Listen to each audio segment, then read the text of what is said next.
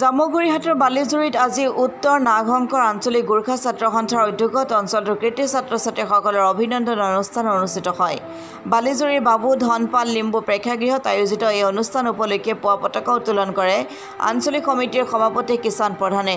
সদৌ অসম গোৰ্খা ছাত্ৰ সন্থাৰ উত্তৰ নাগশংকৰ আঞ্চলিক সমিতিখনৰ উদ্যোগত আৰু শাখা সমিতিসমূহৰ সহযোগত আয়োজিত অনুষ্ঠানটিৰ হাত ধৰে আঞ্চলিক সমিতিখনৰ সম্পাদক পুৰুত্তম ডুংগেৰে কৃতি ছাত্ৰ ছাত্ৰীৰ অভিনন্দন ও সম্বৰ্ধনা অনুষ্ঠানটিত পি এইচ ডি ডিগ্ৰী লাভ কৰা মহেশ দাহাল আৰু মুকেশ নেপালৰ লগতে সদ্যঘোষিত উচ্চ আৰু উচ্চতৰ মাধ্যমিক চূড়ান্ত পৰীক্ষাত সুখ্যাতি অৰ্জন কৰা অঞ্চলটোলৈ গৌৰৱ কঢ়িয়াই অনা শতাধিক কৃতি ছাত্ৰ ছাত্ৰীক অভিনন্দন পত্ৰ প্ৰদান কৰি একোখনকৈ ফুলাম গামোচাৰে সম্বৰ্ধনা জ্ঞাপন কৰা হয়। শোণিতপুৰ জিলাৰ গোৰ্খা ছাত্ৰ সন্থাৰ সভাপতি দীপক চুব্বাই ছাত্ৰ ছাত্ৰীসকলক ভৱিষ্যত জীৱন গঢ় দিয়াৰ ক্ষেত্ৰত তাৎপৰ্যপূৰ্ণ মন্তব্য আগবঢ়ায়।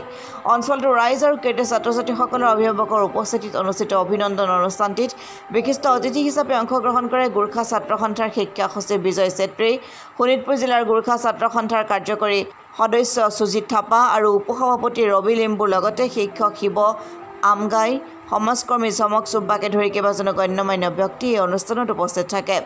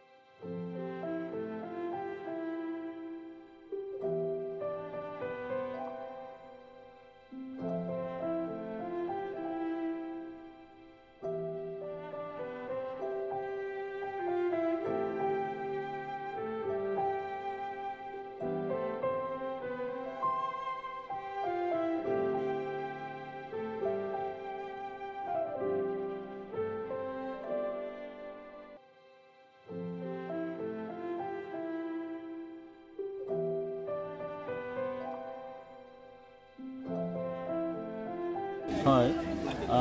এইবেলি উচ্চ আৰু উচ্চতৰ মাধ্যমিক বিদ্যালয়ৰ যি কৃতিমান বিদ্যাৰ্থীসকল আছিলে তেখেতসকলক আজি এই অঞ্চলৰ গোৰ্খা ছাত্ৰ সন্থা উত্তৰ নাগ শংকৰ আঞ্চলিকৰ উদ্যোগত তেওঁলোকক সম্বৰ্ধনা জনোৱা হয়। আৰু অহা দিনবিলাকত সমাজৰ কাৰণে সুনাগৰিক হৈ এই সমাজক তেওঁলোকে যি দায়িত্ব আৰু কৰ্তব্য আছে পালন কৰি যাব বুলি তেনেকুৱা ধৰণৰ পৰিস্থিতি আজি তেওঁলোকে প্ৰদান কৰিছে। আৰু আমাৰ আমি আশা ৰাখিছোঁ এই আজি যিখিনি আমাৰ ছাত্ৰ ছাত্ৰীসকলক সম্বৰ্ধনা জনোৱা হ'ল তেখেতসকলৰ পৰাই অহা দিনবিলাকত এই অঞ্চলত এই সমাজত নেতৃত্ব লোৱা আৰু জাতিত নেতৃত্ব প্ৰদান কৰা ব্যক্তি নিশ্চয় অলপ এই আশা আমি আজি ব্যক্ত কৰিছোঁ। হয় দুজনকৈ ব্যক্তিয়ে ছাত্ৰই পি এইচ ডি ডিগ্ৰী লাভ কৰি সুনাম কৰি আনিছে। কি ক'ব?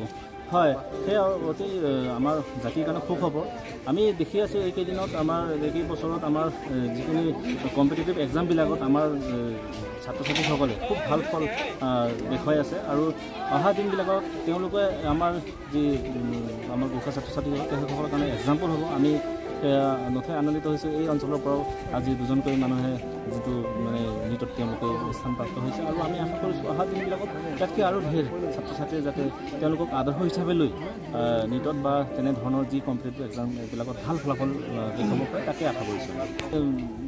চাওক পুৰণি যুগৰ পৰাই আমি যি বিভিন্ন জনগোষ্ঠী আছে অসমত চবৰ লগতে আমি সমন্বয়ৰ বাৰ্তা আমি দি আহিছোঁ।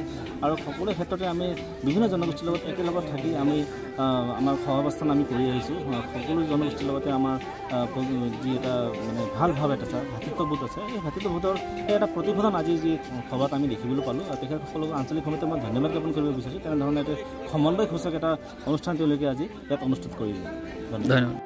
হয় আজি বালিজুৰিস্থিত বাবু ধানপাল লিম্বু প্ৰেক্ষাগৃহত আমি সদৌ অসম গোৰ্খা ছাত্ৰ সন্থা উত্তৰ নাগৰিকৰ আঞ্চলিক সমিতি প্ৰতি বছৰৰ দৰে এই বছৰো কৃতি ছাত্ৰ ছাত্ৰীক আমি ইয়াত সম্বৰ্ধনা জনাইছোঁ আৰু আমাৰ ৰাতিপুৱা কাৰ্যসূচী আছিল পতাকা উত্তোলন তাৰপিছত চাৰিদৰ্শন তাৰপিছত মূল সভা আছিলে। আমি আজি ইয়াত আশীতকৈ অধিক ছাত্ৰ ছাত্ৰীক সম্বৰ্ধনা জনাইছোঁ।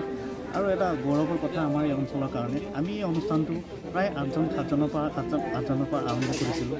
আজি প্ৰায় আশীতকৈ অধিক আমি ছাত্ৰ ছাত্ৰীক সম্বোধনা কৰিবলৈ পাই আমি অতিকৈ আনন্দ আছোঁ। আৰু আশা কৰোঁ ইয়াতকৈ বেছি ছাত্ৰ ছাত্ৰীক অহা বছৰ আমি সম্বোধনা কৰিব পাৰোঁ আমি আমন্ত্ৰণ জনাইছিলোঁ সদৌ অসম গোৰ্খা ছাত্ৰ সন্থা শোণিতপুৰ জিলা সমিতিৰ সভাপতি লগতে শিক্ষা সম্পাদক বিজয় বিজয় চেত্ৰীক তেনেধৰি সমূহ কাৰ্যকৰ্তাক আমি আমন্ত্ৰণ জনাইছিলোঁ।